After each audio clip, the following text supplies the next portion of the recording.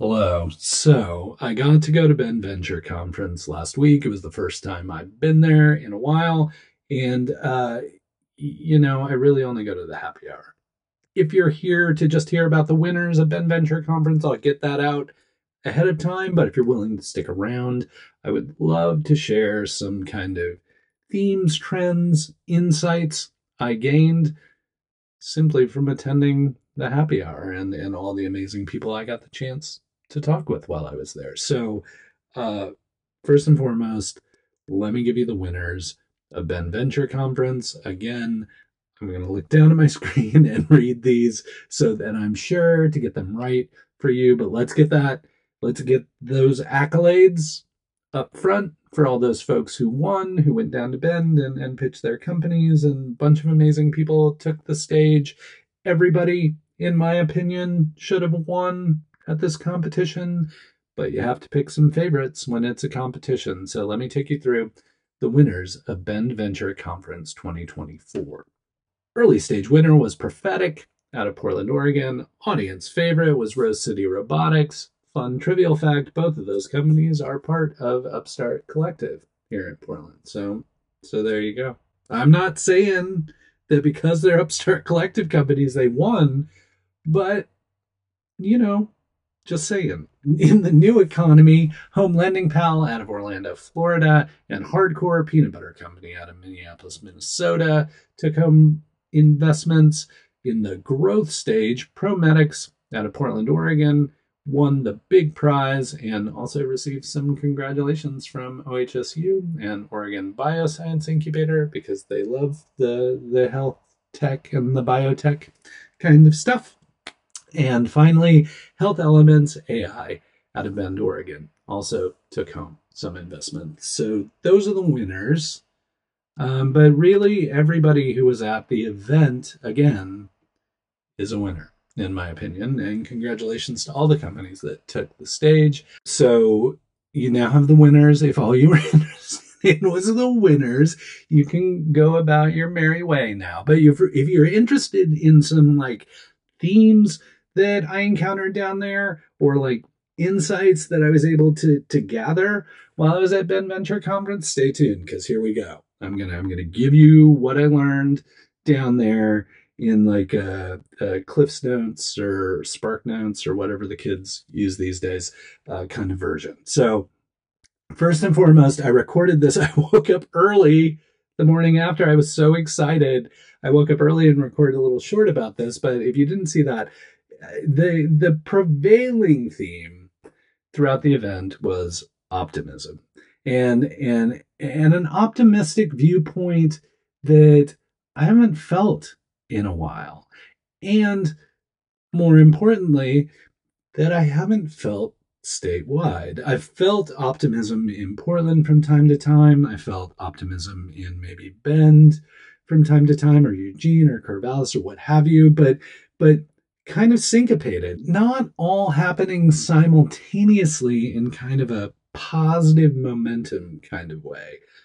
But this time around, no matter who I talked to, no matter where they were from, there was this kind of optimistic energy about the potential of Oregon, the potential of startups, and the you know what what we have the opportunity to achieve here. So that was really fulfilling. And and the other part of it was I just wasn't meeting with investors. I was meeting with people who were supporting all aspects of startup creation and startup community all over the state. That was perhaps the most amazing part. I got to talk to people from Pendleton, from the Gorge, from Portland Metro, Portland and, and Vancouver folks. I got to talk to folks from Corvallis. I got to talk uh, from to folks from Eugene, obviously got to talk to a lot of folks from Bend, and everybody is really psyched on the potential of Oregon right now. And I don't know in my 30 year history here in the state if I've ever felt this much simultaneous kind of optimism and energy about what's happening in Oregon.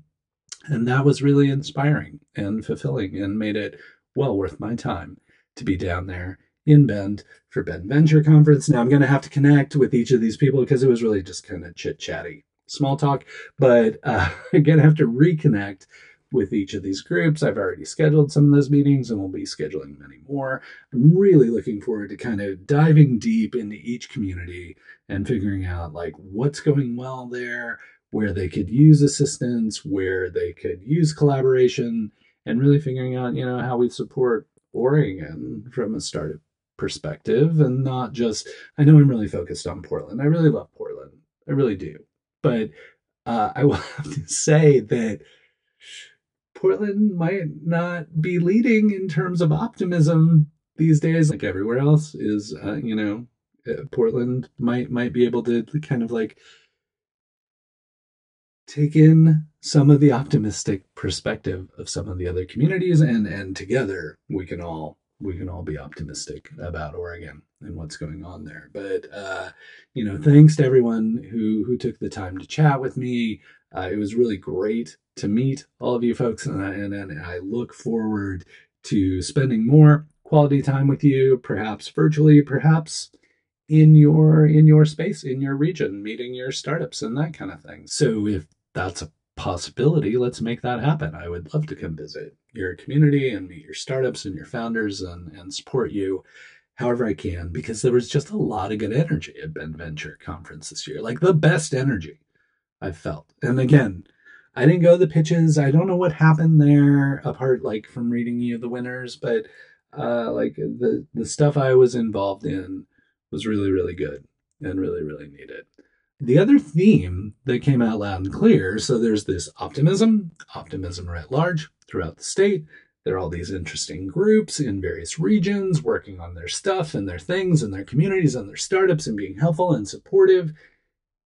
But the thing that's changed about that is, you know, in the before times prior to the pandemic, if I were having this type of conversation with folks, by and large, none of those folks would be getting paid. They would all be kind of volunteers or like part time or like, you know, getting some form of compensation or sponsorship for working with startup communities. And and I think the thing that is really positive, and thank you for making this happen, state of Oregon and and and local local folks who are making this kind of thing happen and private industry that are making this kind of thing happen. These are folks who are paid full time to focus on startups and working with founders and community and making this kind of thing happen. And I've never seen this level of activity in the state. You know, passion can't sustain everyone or, or all communities. And so it's really nice to see a bunch of these folks getting paid full time to focus on the startup community. Uh, some of this, a lot of this is thanks to the kind of innovation hub work that the state has been funding. You know, part of it is the through the Pendleton unmanned aerial system accelerator. They're having a huge impact in Pendleton, not only Pendleton, but throughout the state. Seeing amazing activity there. You know, the folks in the Gorge are working on their innovation hub. The Eugene folks obviously have that rather large college uh, there that, that is helpful to them the Corvallis folks, who I'm looking forward to, to diving in more and hearing more about what they're doing. The Corvallis folks have an amazing AI department at Oregon State University. They have the Bend Cascades campus for Oregon State. Interesting activity happening there, amazing stuff. Uh, you know, they have an innovation hub kind of thing going on there. Portland, we have our innovation hub going. Vancouver has support from you know the city and and kind of the economic development groups there and across the board you look at it and you see the support from the educational institutions you know it's uh, you can see portland state university of oregon oregon state you can see ohsu involved there so like that educational component which has always been like one of those things that we haven't quite figured out how to connect is finally becoming connected to the startup and innovation community. Uh, so just lots of good stuff happening, lots of good stuff that that really just kind of like invigorated me about the Portland startup community. And I was like, ah, I, w- I wish I could work on this full time. This is pretty exciting right now. I wish I could dive in and join all of you folks uh, as, as, as my full time gig, like hanging out with you. But be that as it may, there are all kinds of folks working full time on this stuff, and I look forward to supporting them however I can. Uh, all that being said, uh, 2025 is going to be an exciting year throughout the state. But, uh, you know, I don't like to pick favorites, but there's some interesting stuff going on in Bend. And it's kind of got, Bend has kind of got that percolating, like, you know, lots of little, not little, but lots of like intimate gatherings occurring. So little, smaller, intimate gatherings occurring, and a lot of activity that is, I predict, in 2025 is going to kind of congeal into more targeted momentum for the community. I mean, I, I talked to folks at the OSU Cascades campus about the Innovation Hub. They've got some great ideas. There are other things happening there kind of in the background in Bend that I know are interesting. And then, you know, I, a whole bunch of people I didn't even realize had relocated to Bend have relocated to Bend. And and they are bringing kind of some new energy to that community as well. So, all, all things being considered, pretty bullish on Bend right now. So, keep an eye on Bend. Uh, if you're in those other regions, you know, Pendleton, the Gorge, like Hood River, the Dalles area, Corvallis, Eugene, Portland, Vancouver, all of those have great things going. And, uh, you know, I don't want to set up any competition, but if that's what you need to be motivated to get your community going even further, great. Then let's all double down on our communities and see what we can do to support startup founders. So that's my takeaway.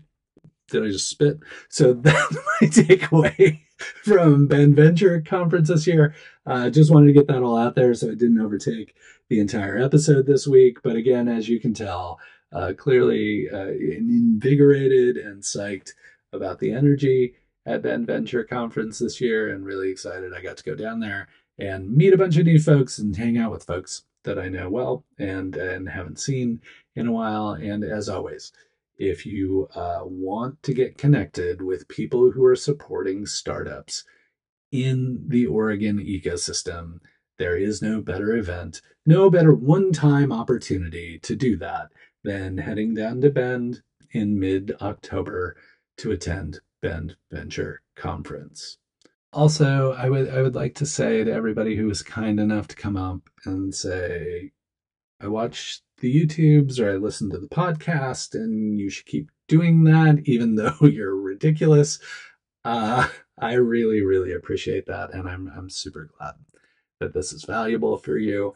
I definitely will keep doing it. I do enjoy uh, getting this opportunity to hang out with you every week, and, I, and I'm really I'm really happy to hear that it's been beneficial to you as well. Hopefully, that gives you all the detail you needed to know about what I saw happening at Bend Venture Conference this year. Until we get the chance to chat again, please keep up the good work.